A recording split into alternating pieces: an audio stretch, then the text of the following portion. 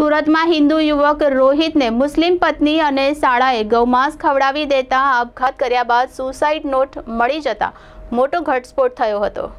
સુરતમાં ઉધના બીઆરસી ખાતે ડાઇંગ મિલમાં માસ્ટર તરીકે નોકરી કરતા યુવકે ફેસબુક પર સુસાઇડ નોટ અપલોડ કરી આપઘાત કરી લીધો હતો. સુસાઇડ નોટમાં લખ્યું છે કે પત્ની અને શાળાએ મારી નાખવાની ધમકી આપી ગાયનું માંસ ખવડાવી દીધું હતું, જેને કારણે આ પગલું ભર્યું છે. આ ઘટના બે મહિના પહેલા બની હતી વતનથી એક મિત્ર મારફત મૃતકના ભાઈને આપઘાતની ખબર પડી હતી આથી માતાએ ઉધના પોલીસમાં ફરિયાદ આપી છે જેના આધારે પોલીસે મૃતકની પત્ની સોનમ જાકીર અલી અને તેનો ભાઈ મુખ્તાર અલી સામે આત્મહત્યાની દુષ્પ્રેરણાનો ગુનો દાખલ કર્યો છે मेरा नाम वीना है मेरा लड़का रोहित गांव को मांस खिला दी थी सोन सोनम और उसका भाई अख्तर इसीलिए वो ख़त्म हो गए उनको इंसाफ दिला दीजिए।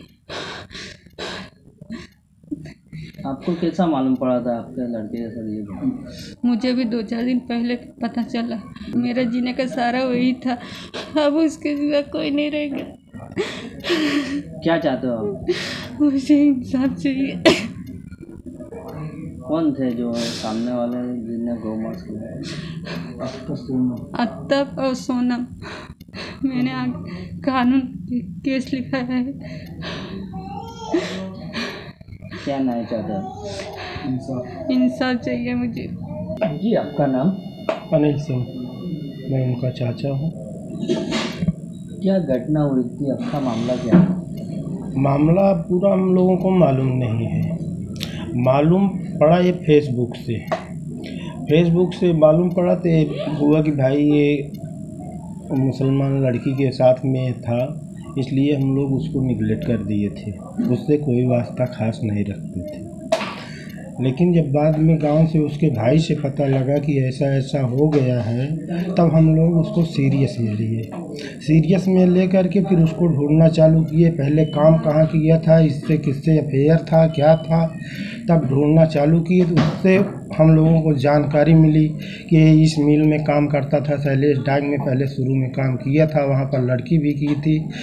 वहाँ से जब हम लोगों को पता चला, तब फिर बाद में बारह बजे फिर वापस गए, फिर सुबह गए तो वहाँ से कुछ पता मिला। तो उसके बाद फिर पटेल नगर में पता लगा कि ये लोग रहते थे। तो वहाँ जा कर के हम लोग वहाँ से जो कागज़ पत्तर मिला वो ले कर के फिर वापस आए हैं। वो टोटल मुसलमान की बस्ती थी। आप तो, क्या चाहते हैं इसके इंसाफ चाहते हैं साहब। इंसाफ गवर्नमेंट से भी और मीडिया कर्मी से भी और जो इसमें हिंदू संघ के हैं उनसे भी सबसे अनुरोध है कि हमको इस माने में हमारे बच्चे को इंसाफ मिलना चाहिए। राजेश सिंह राजपूत। राजद भाई क्या घटना हुई है, क्या नाम है?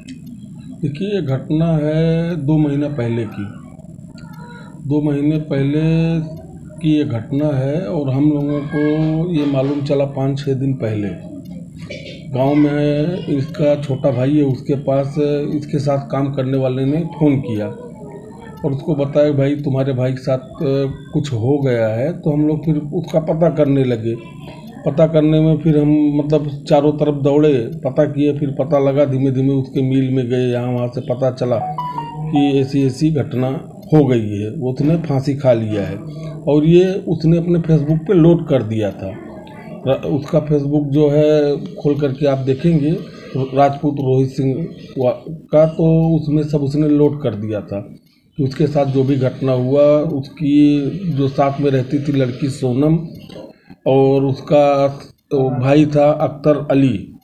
तो इन लोगों ने उसको गौ मांस खिला दिया था। तो उससे वो आहत हो गया था वो मेंटली डिस्टर्ब हो गया था। मेंटली डिस्टर्ब होने के बाद उसने अपने साथ ये सब लोड करके और वो तुरंत मतलब दो बज के पिस्तालीस मिनट पे उसने जो है ये अपलोड किया है और साढ़े तीन बजे तक तो वहाँ वो अपना हत्या कर लिया था। आपने क्या आगे जाने आ, मुझे जानकारी मिली जब वहाँ सब जा कर के हमने पता किया तो उसके मकान मालिक से भी बात किया। तो उसने हमको बताया कि भाई ऐसा ऐसा हुआ था उस मकान मालिक ने ही दाह संस्कार भी कर दिया था। उसने ही। और वो जो लेडीज़ थी उसने अपना नाम वहाँ उस पर लिखवाया था लाश लेने के लिए रोशनी। वो सब भी हमको पता चला। फिर हम वहाँ गए जो है सब उसका कागज़ पत्र सब लेकर के आए। हमारे पास सब एविडेंस है, फिर हम पुलिस के पास गए, फिर पुलिस से बात किया। उन्होंने आगे का कार्रवाई का हमको आश्वासन दिया और वो अपने हिसाब से आगे की कार्रवाई कर रहे हैं। रोज़ हम पुलिस स्टेशन जाते हैं।